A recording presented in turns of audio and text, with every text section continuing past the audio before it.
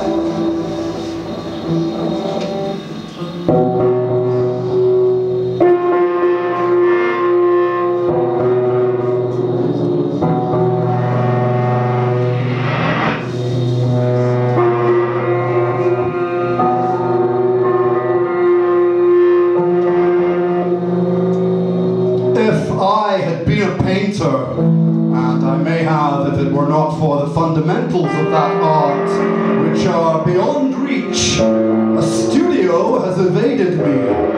But the question, what medium, means that to make a decisively painterly gesture, I would have to settle on a particular kind of paint, canvas, brush, paper, etc. This would entail gaining a true knowledge of all these merchandise after discussing them at some length with the merchant.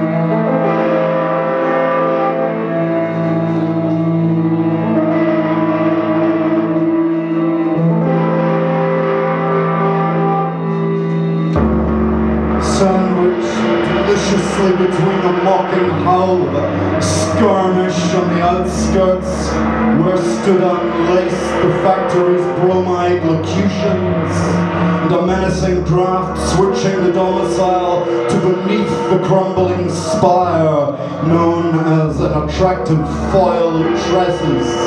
I was carved and molded nonchalantly by unknown utensils and slipped into the marshes in charcoal. I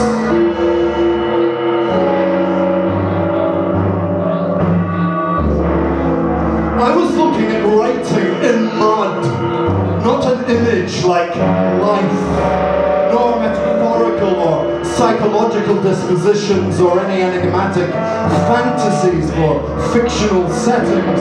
I was also, seemingly that I had no desire to describe my thoughts. I'm concerned the intellectual dynamism of the times.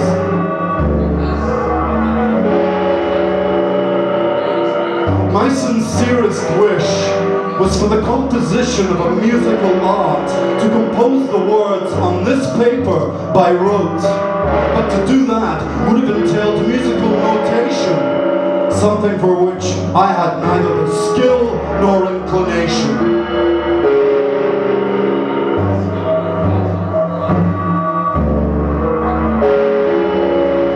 I had another plurality, the people Oh, I ran to their aid, failing perhaps, but nevertheless I had been informed they were controlled by television, the daily newspapers, and the wireless. Nothing I could say would make governments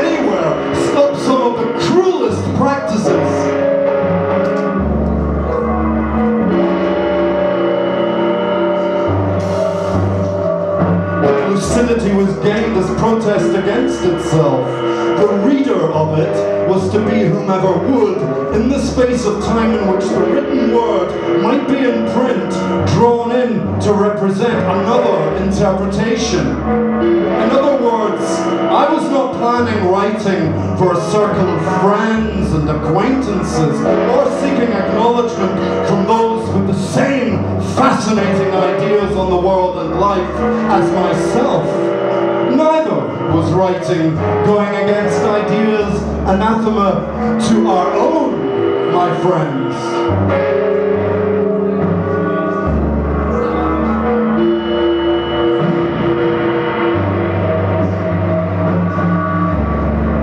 Through this season with an aesthetic keepsake, the gift of the siren, scaled body,